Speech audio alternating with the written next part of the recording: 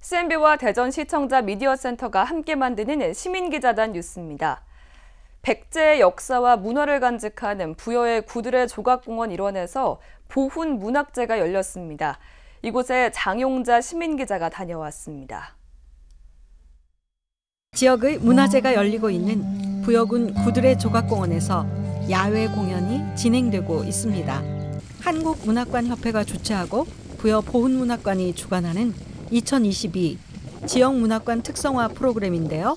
코로나 감염병의 장기화와 집중호우 피해로 지치고 힘든 지역민들을 위로하고 격려하기 위한 문학제가 개최되었습니다. 아, 부여는 알다시피 세계 문화유산 지역입니다. 고대 문화 강국으로 우리 한류 지금 한류 드라마, 영화, 케이팝 유행하고 있죠. 이 한류의 원조가 바로 이 백제 문화입니다. 보문학 콘서트를 진행하게 돼서 감사합니다. 내년에는 좀 더 알차고 풍성한 프로그램 기획으로 우리 지역민들에게 유익한 문화 향유의 기회를 제공하자 합니다. 백제문화제 기간 동안에 진행된 이번 공연은 디카시 전시와 시노래, 연주, 낭송 등 시를 통한 문화 콘서트로 많은 사람들에게 감동을 주었습니다. 또한 지역을 넘어 부여를 찾은 관광객들에게도 널리 알릴 수 있는 기회가 되었습니다. 모처럼 그렇게 옛날이 좀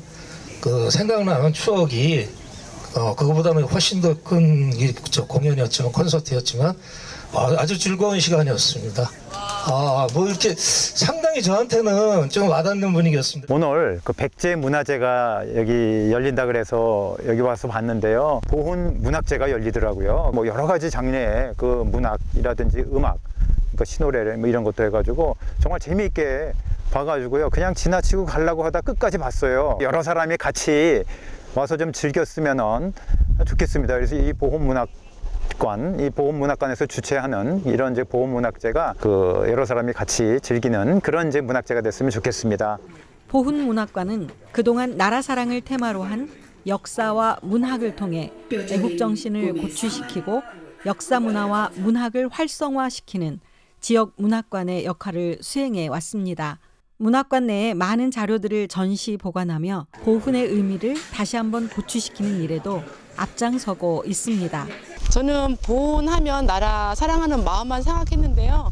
부여에 이 보훈 문학관이 생긴 줄 몰랐어요. 행사를 하면서 제가 부여군 은산면에 있다는 걸 알게 되었습니다. 나라 사랑하는 마음을 우리가 이렇게 자연을 통해서 또 내 마음을 표현할 수 있는 보훈 문학관이 있다는 거에 대해서 많은 우리 국민들이 알아서 어, 활용하고 홍보해서 어, 저희들이 정말 이 문화 활동을 즐길 수 있는 계기가 되었으면 좋겠습니다. 지역이 가지고 있는 문화의 맥은 전통을 이어가며 보존되고 발전해야 하는데요. 부여 보훈문학관은 나라 사랑뿐만이 아닌 다양한 문화예술의 프로그램을 통해 가치 있는 역사와 문화가 지역은 물론 찾아오는 관광객들에게도 함께 즐길 수 있는 문화예술 활동의 토대가 되길 기대합니다. CNB 시민기자 장용자입니다.